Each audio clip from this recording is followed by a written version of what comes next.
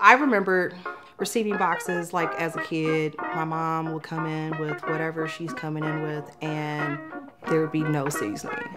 And, you know, the best way to, I guess, endure not so great cooking or bland foods would be to season it according to your preferences. So if you need a little spice in your life, a little pepper, a little extra salt, a little less salt, those are just, you know, the type of things that, that build your flavor profile and kind of make you the person who you are. I know that when I talk to a lot of people about food and some of the best memories tied in with food are food seasoned and tastes like your grandmother's or tastes like someone's aunt made it.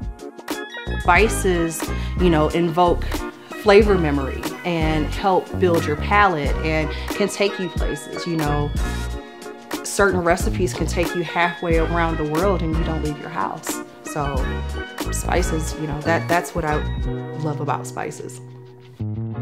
I just want to get back. I just I want to be able to inspire positivity and creative thinking amongst people that look to me and, and look at what I'm doing.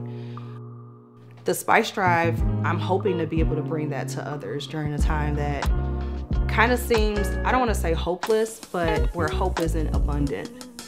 If I can just provide just a little bit of relief, a little bit of help, a little spice goes a long way.